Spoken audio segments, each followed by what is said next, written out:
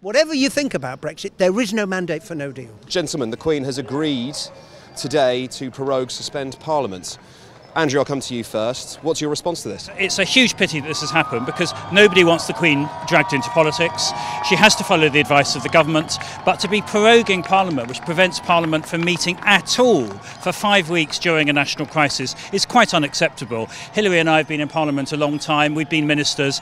No way would the governments of which we were a party have thought of offering advice like this to the Queen, and it's creating a deep constitutional crisis, which I think is only going to be resolved by Boris Johnson backing down and allowing more time for Parliament to debate these crucial matters. Hilary, what do you think is now the most likely, best approach in the Commons for dealing with the attempted suspension? Is it still a legislative approach to tie the, the hands of the government, take control of the order paper, or is it a no confidence vote?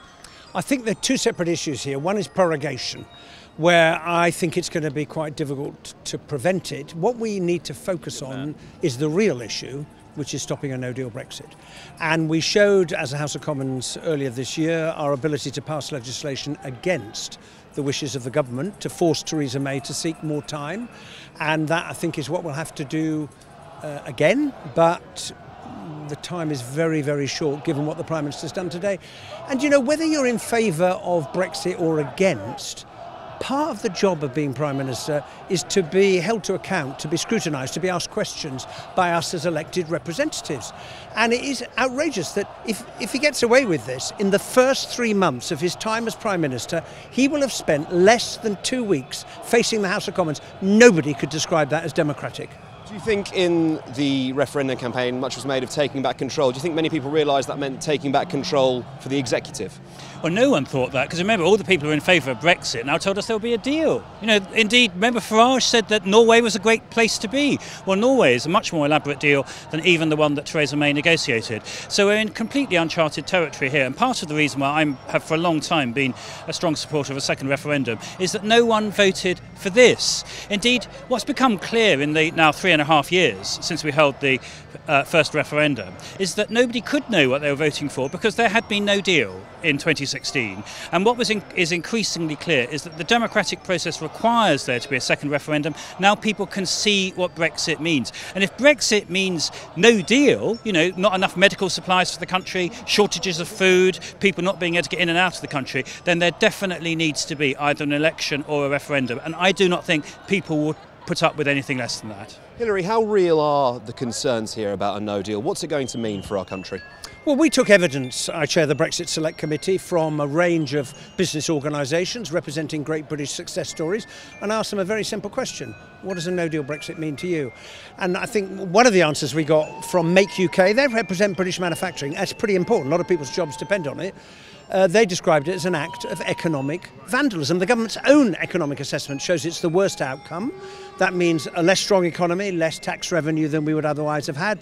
As Andrew's just said, delays for goods that are the lifeblood, the artery of economic activity, uh, shortages of some foods, enormous uncertainty for businesses.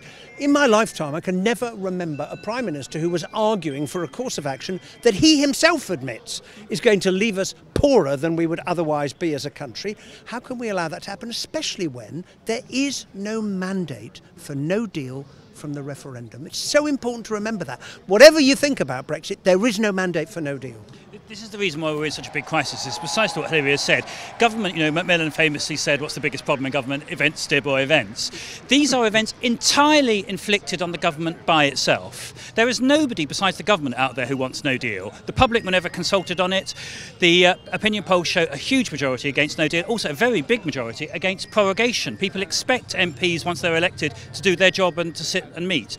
So this is a problem being created entirely in 10 Downing Street by Boris Johnson Johnson. It can be solved in 10 Downing Street by Boris Johnson by him giving up this extraordinary power lust, which seems to want to elbow everyone else aside, behaving reasonably and allowing the people to decide what should happen next. Just finally, gentlemen, November 1st, are we going to be in or outside of the European Union?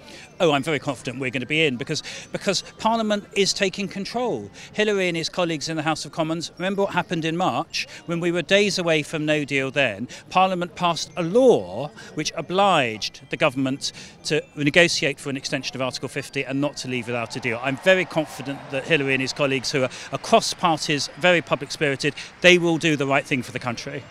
I really hope so, but it depends on the votes of members of parliament. And I would appeal to my colleagues when we return next week, it's now or never.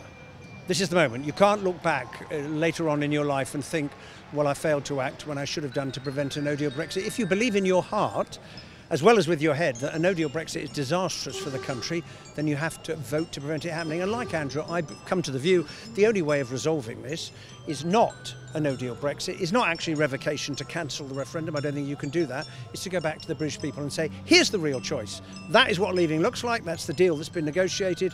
There's Remain. Now you know what you know that you didn't know three years ago, namely that the promise made by the Leave campaign, you can have all your sovereignty back, but don't worry, you'll keep all the economic benefits. It wasn't true. Brexit involves choices, and I think the British people should make the final choice.